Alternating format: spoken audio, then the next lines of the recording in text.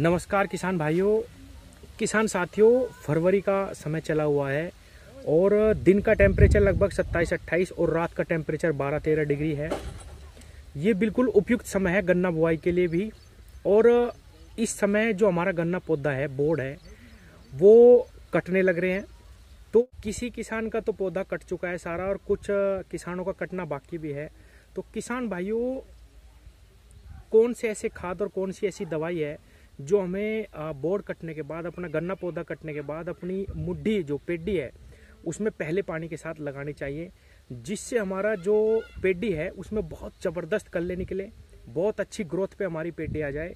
क्योंकि किसान साथियों, जो खेत स्टार्टिंग में बहुत अच्छी प्रोग्रेस पे आ जाता है, बहुत अच्छे उठान पे आ जाता है, वो लास्ट तक नहीं दबता। और किसान भाइयों, पहले ही पानी पे उसमें कोई ऐसी दवाई भी डाल जाए ताकि उसमें जो कनसवा है, क्योंकि अब टेम्परेचर बढ़ता जाएगा और उसमें जो रोग है, इस समय सबसे ज़्यादा कनसवा हमारे क्षेत्र में बोला जाता है, वो रोग लगेगा किसान साथियों। दूसरी बात मैं करूँ, फंगस। इस समय फंगस का खतरा बहुत कम है, लेकिन एक फंगस की दवाई और एक इंसेक्टिसाइड यानी कीटनाशक का हमें प्रयोग करना खाद के साथ। तो ये जो कम्बिनेशन मैं आज आपको बताऊँगा, इसमें हमारे जो गन्ने की खुराक है, वो तो पूर्ति हो ही हो ही जाएगी इसके साथ साथ फुटाव की एक दवाई बहुत अच्छी इसमें हम डाल लेंगे, जिससे हमारा जो गन्ना है उसमें ज़बरदस्त कर लेने के लिए किसान भाइयों, अगर आप इन सारे खादों का, जो मैं खाद बताऊँगा दो तीन खाद है, और इस दवाई का प्रयोग कर लेंगे तो उसमें कोई भी कीटनाशक कीट नहीं लगेगा, और आपकी जो गन्ना पेडी है वो ज़बरदस्त तरीके से फुटाव पे आएगी किसान भाइयों। किसान भाइयों, बहुत अच्छी अच्छी दवाएँ हैं, जो सस्ती सस्ती दवाएँ हैं, जो फंजीसाइड भी हैं और कीटनाशक भी है। लेकिन इस समय जब हम अपने खेत को काट लेते हैं तो हमारी जो मुड्ढी है, जो हमारा पेड्डी का जो फुटाव होना है, वो अभी नहीं हुआ होता। तो हमें कोई ऐसी दवाई डालनी है अभी स्टार्टिंग में, जो हम ज़मीन के माध्यम से दे सकें। जब हमारी पेड्डी एक महीने की हो जाएगी और एक महीने बाद उसमें एक फुट के हमारे पौधे हो जाएँगे पेड्डी के, तब हम उस पर स्प्रे लगा सकते हैं।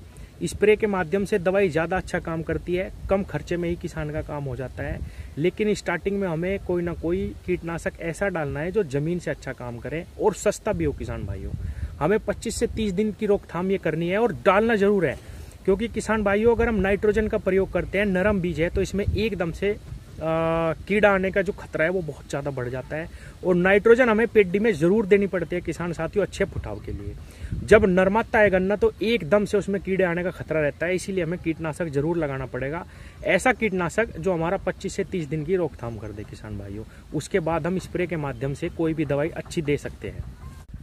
किसान भाइयों, ये जो मैं आपको कम्बिनेशन बताऊँगा, इससे आपका गन्ना एकदम से नरमा होगा। बहुत अच्छे ग्रोथ पे आओगे कलर बहुत ज़बरदस्त हो जाएगा अगर आपने पोगे छोड़ रखे होंगे।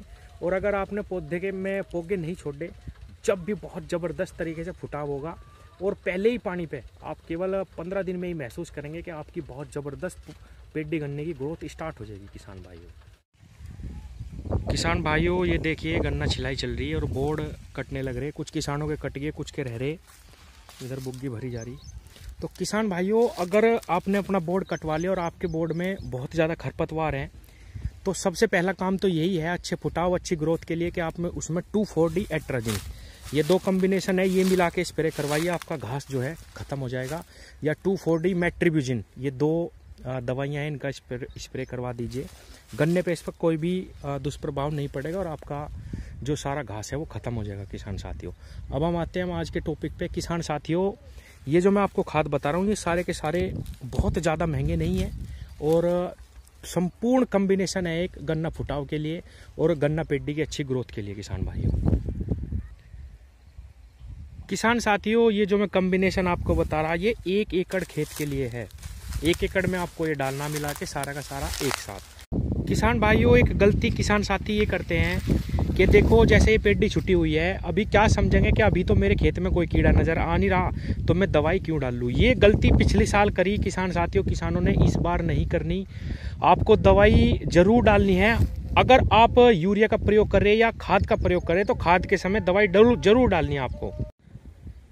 तो किसान भाइयों, हमारा सबसे पहला जो खाद है, वो है एनपीके। बारह बत्तीस सोलह का एक बैग। ये जो मैं दवाई का कॉम्बिनेशन बता रहा, ये एक एकड़ खेत के लिए किसान किसान भाइयों। बारह बत्तीस सोलह एनपीके का एक बैग, पच्चीस किलो यूरिया, दो खादों के तीसरा हमारा है ह्यूमिक एसिड पाँच किलो, एक एकड़ के लिए। चौथा है मेरा सागरिका दस किलो दानेदार। किसान साथियों, ये चार खाद हैं। आपको चारों एक जगह मिलाने हैं। उसके साथ आपको दवाई का प्रयोग करना सबसे पहले बार में फिप्रोनिल रिजेंट के नाम से भी आती है अन्य भी किसी दवाई आ, कई दवाइयों में इसका आ, ये साल्ट आता है फिप्रोनिल आप रिजेंट मांगेंगे बायर कंपनी का लीजिए किसान साथियों अच्छी कंपनी का रिजेंट इस्तेमाल करना. आप केवल ये एक ही दवाई का प्रयोग कर लो और अगर आप इसके साथ फंजीसाइड भी मिला ले तो और अच्छा रहेगा किसान भाइयों. कार्बनडा जिम प्लस मैन को जैब सस्ती दवाई है ये भी आप इसके अंदर मिला लीजिए. आपके गन्ने में कोई भी कीड़ा नहीं लगेगा चाहे आप कैसा भी नरम खाद डाल लो. अब ये जो मैंने आपको कॉम्बिनेशन बताया ये क्या काम करेगा? थोड़ा सा इस पे भी मैं बता देता हूँ। क्यों इतना अच्छा फुटाव इसके बाद आएगा? एनपीके का मतलब है जो हमारे पौधों की नीड है सबसे ज़्यादा। खाद की वो सारे के सारे एनपीके बारह, बत्तीस, सोलह से उसको मिल जाएँगे। यूरिया हम एक्स्ट्रा पच्चीस किलो इसीलिए डाल रहे किसान साथियों, क्योंकि नरमा के ही फुटाव बहुत अच्छे तरीके से होता है और यूरिया की ज़रूरत पौधे गन्ने से भी ज़्यादा पेडी गन्ने को होती है, किसान साथियों। और जब फुटाव चलता है, उसको उस वक्त बहुत ज़्यादा खाद की आवश्यकता पड़ती है। तो आप इस वक्त यूरिया का प्रयोग ज़रूर करें, किसान भाइयों। अगला जो मैंने बताया आपको, ह्यूमिक एसिड। ह्यूमिक एसिड जड़ों का विस्तार करेगा। जड़ ज़्यादा फैलेगी तो फुटाव ज़्यादा होगा, किसान भाइयों। और ग्रीनरी पे गन्ना आएगा, बहुत ज़्यादा कलर हरा हो जाएगा, बिल्कुल कचया जाएगी आपकी मुड्डी। किसान भाइयों, तीसरी जो मैंने आपको बताई, सागरिका।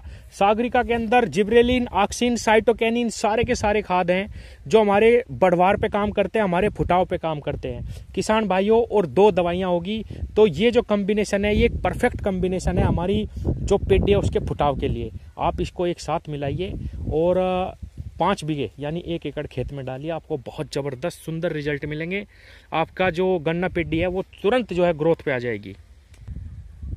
पहला पानी जब आप अपनी पेडी में लगाएँगे, उससे पहले आप ये बिखराव करके सारा खाद उसमें पानी लगा दें और इसको एक से दो महीने के लिए छोड़ दीजिए किसान भाइयों।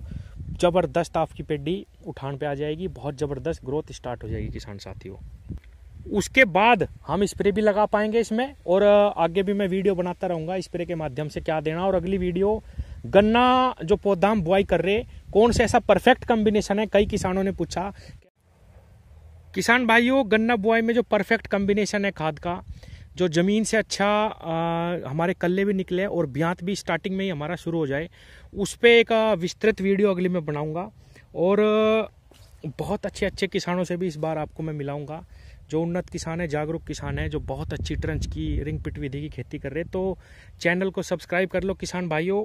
चैनल को देखते बहुत सारे लोग हैं, लेकिन सिर्फ़ दो परसेंट लोग ही चैनल को सब्सक्राइब करते हैं और रिटर्न में आते हैं चैनल पे और बहुत ज़्यादा सवाल करते हैं। जबकि उस टॉपिक पे मैं वीडियो पहले ही बना चुका होता हूँ तो सारी वीडियो आपको मिलती रहेगी, लेकिन उसके लिए आप चैनल को सब्सक्राइब करो और बहुत अच्छी अच्छी जानकारी दवाइयों की, खाद की और अच्छे अच्छे किसानों की आपको मैं निरंतर समय समय पर देता रहूँगा। धन्यवाद।